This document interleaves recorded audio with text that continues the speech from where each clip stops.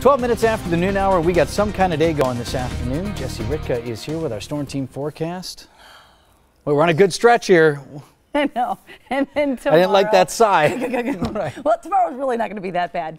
Saturday. We'll be begging Ew. for what it is tomorrow Ew. come this weekend, right? exactly.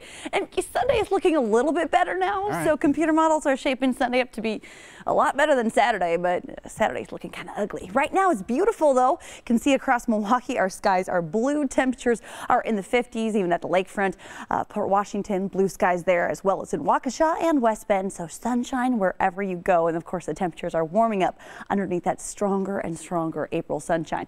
Almost up to 60 in Burlington, 55 in Racine. We're at 58 in Milwaukee, 61 in Fond du Lac as well as in West Bend. We'll see a lot more 60s as we go throughout the rest of the afternoon. All thanks to this wind that is from the south, so bringing up slightly warmer air from the south. It's also bringing up some of those allergens from the south, so trees and mold a little bit on the stronger side for today. Right now, though, storm form max not showing a whole lot for us. You will be seeing more cloud cover south of Milwaukee because we do have a little bit of a small area of low pressure down to our south. This one stays to our south. Don't worry about that low pressure. It's just going to bring a few clouds to our southern counties. This cold front up to the northwest, however, that is going to swing through for tomorrow. So future forecast, timing that out again, the clouds and those rain showers to our south, staying to our south. The rest of the evening should be great. Decent night for a bonfire if you want to do that with crisp temperatures staying in the 40s tonight. Heading throughout your day tomorrow, that cold front will bring more clouds by the middle of the day.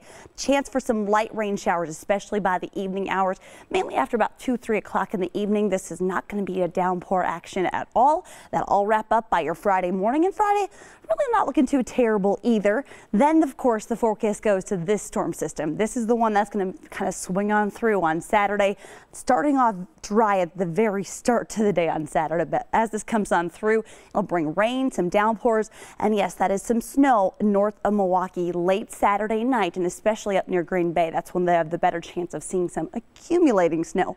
For us, mainly some rain, some snow mixing in, though, again up to the north. Then on Sunday, high pressure briefly visits, and this is going to give a little bit drier forecast for Sunday, but yeah, more mess off to the west as we go into next week. For today, though, 60 degrees, lots of sunshine, especially down to the south. We'll see a little bit more in terms of cloud cover away from Lake Michigan up to 66 degrees. Then overnight tonight, a few more clouds here and there. Overall, though, pretty quiet.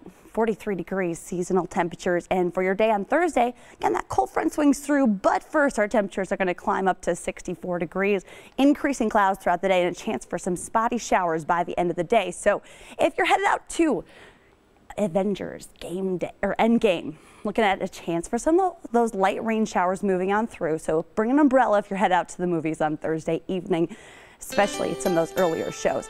Getting into the rest of your seven day forecast, then 58 degrees on Friday with breezy conditions. And there's that ugly weekend, 47 on Saturday.